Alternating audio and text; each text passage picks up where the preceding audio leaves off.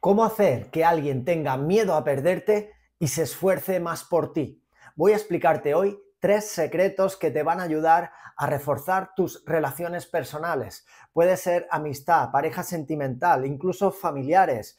Van a valorarte más porque el mundo y las demás personas te respetan y te valoran en base a cómo tú te valores primero. Y por eso estos tres secretos que voy a compartir contigo en este vídeo te van a ayudar en gran medida a mejorar el amor propio por encima de todas las cosas y sobre todo también a que las demás personas te valoren en medida de lo que tú vales. Así que es un entrenamiento donde vamos a aprender psicología, comportamiento humano, vamos a poder empoderarnos, conocernos mejor y bueno, está lleno de beneficios, de verdad, te recomiendo que te quedes hasta el final porque te aseguro que te va a ayudar muchísimo. Mi nombre es Luis Garre, soy terapeuta, mentor, escritor, divulgador de contenido para el despertar de la conciencia humana, ayudando a cientos de miles de personas hace más de 15 años a través de mis cursos, mentorías y todo el contenido que ofrezco cada día a vosotros, a los que me seguís. Gracias de todo corazón por esa fidelidad y porque sé que estáis aplicando cada enseñanza y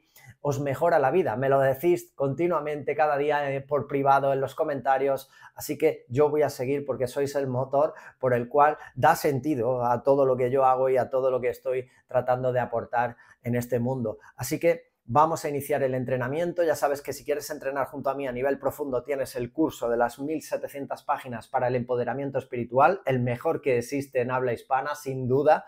Y también tienes la mentoría privada donde vamos a estar juntos un mes y medio para revolucionar tu vida en todas las áreas, salud física, salud mental, relaciones y el área propósito laboral, económico también.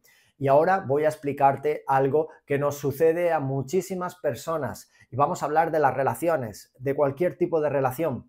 ¿Qué ocurre cuando una relación empieza a no ir como debe de ir? Pues que alguien en algún momento o ambas partes están descuidando la relación porque las relaciones personales son como las plantas o las riegas y las cultivas todos los días o se marchitan. Exactamente ocurre igual con las relaciones interpersonales. Así que tenemos que saber eh, qué estamos haciendo bien, qué estamos haciendo mal, qué podemos mejorar y eso es lo que te voy a explicar. Y si encima te doy los tres secretos para que la otra persona incluso llegue a sentir ese miedo por perderte, que va a hacer que en realidad te valore más, porque esto es algo positivo, en verdad, lo vas a comprender rápidamente, pues mejor que mejor.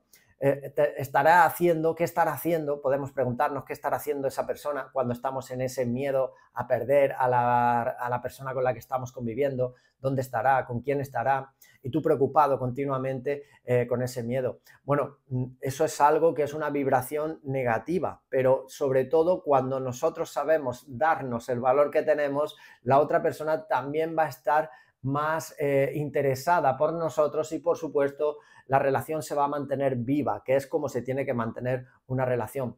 ¿Cuántas veces nos hemos preocupado por las posibilidades de perder a nuestra pareja sentimental o a una gran amistad que tenemos? Inseguridades que todos llevamos en cierta medida, miedos, etc. Así que muy importante entender que eh, tenemos que sentir que, que, la otra persona se esfuerza por nosotros, que la otra persona también entra en el equilibrio y en el juego del dar y el recibir, porque tiene que haber un equilibrio, una correspondencia, no puede ser siempre la misma persona la que da, la que da, la que da, y la otra persona se ha acostumbrado a eso y al final no hay una reciprocidad. Y ahí es donde las relaciones están abocadas al fracaso, también a la ruptura. Por eso el dar y el recibir tiene que estar en equilibrio.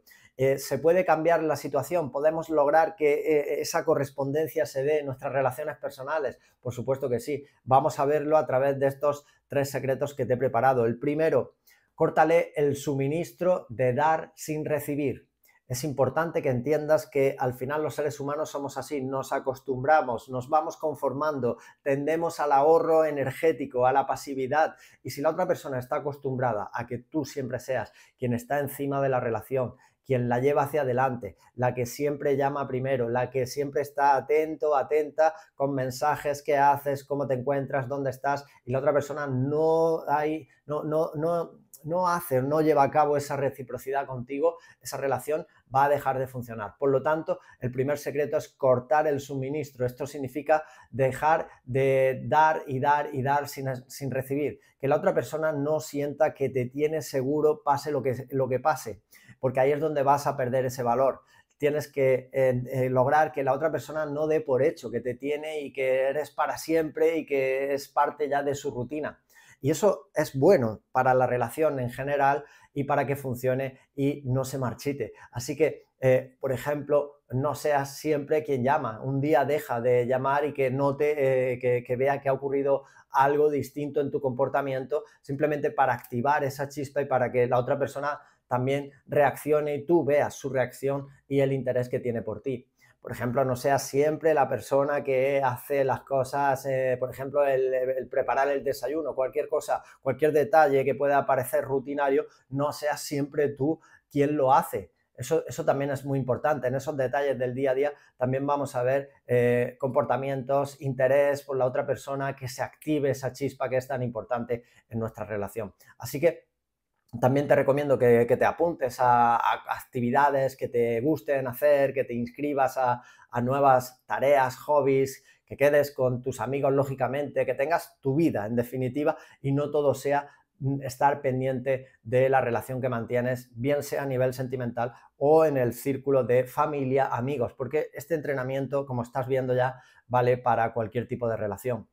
el segundo secreto, hazle dudar. ¿Qué significa? ¿Qué tenemos que hacer? ¿Cómo podemos actuar para que la otra persona eh, nos valore más? Bueno, pues no tiene que dar por sentado, por seguro que siempre nos va a tener. Tenemos que mm, hacer nuestras cosas y tener nuestras prioridades, tener también aquello que es importante para nosotros.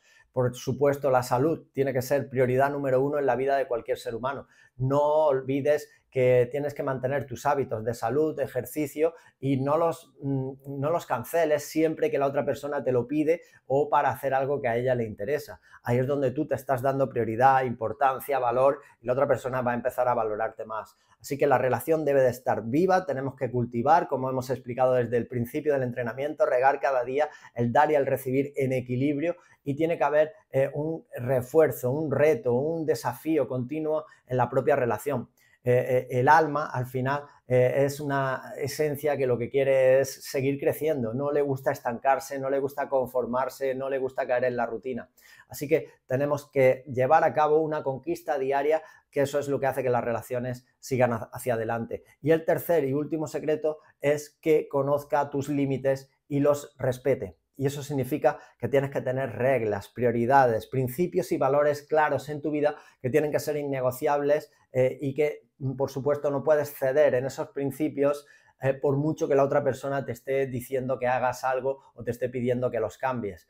¿Y de qué hablo? Pues hablo de lo que tú valoras en la vida, de lo que es importante para ti, de lo que, mm, de lo que para ti es prioritario en cuanto a lo que debe de ser principios espirituales, honestidad, eh, generosidad, bondad, el cuidado de tu salud, de tu cuerpo físico, de tu cuerpo mental, todo eso. Me refiero a lo que es sagrado para ti. Los proyectos, tus hijos, eh, tu propósito laboral, todo eso tiene que estar en prioridad absoluta. No quiere decir que dejemos en un segundo plano nuestra relación, pero mm, tiene que estar ahí, en, esa línea. De hecho, cuando yo hago un orden de prioridad con las personas que llegan a mi mentoría privada, siempre hacemos una pirámide de prioridad para que quede claro ese concepto, lo primero siempre es la salud, lo primero siempre es el cuidarnos a nosotros mismos por encima de todo y también, por supuesto, nuestros proyectos, propósitos a nivel laboral, profesional.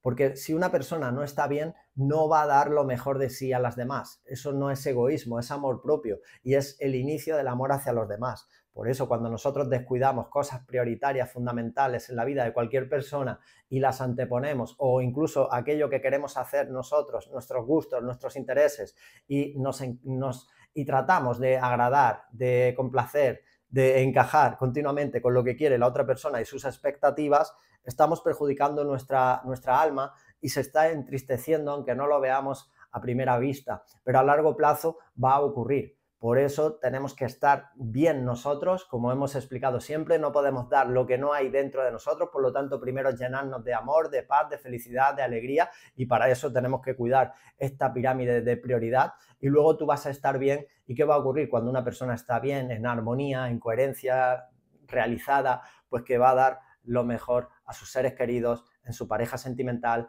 en sus amistades. Así que prioriza en lo que para ti sea súper importante, proyectos, salud, hijos, eh, lo que quiera que sea, descanso, paz mental y no la antepongas a las prioridades o expectativas de la otra persona. Con estos tres secretos que te acabo de explicar, vas a ver cómo la otra persona, las demás personas, el mundo entero empieza a valorarte más porque tú te validas y te valoras a través del amor propio, que es el inicio del amor verdadero y el amor incondicional a las demás personas. Amar significa aceptar a cada persona tal cual es, sin pretender cambiarla, sin intentar que sea diferente a cómo es, simplemente aceptarla. Y eso es amar.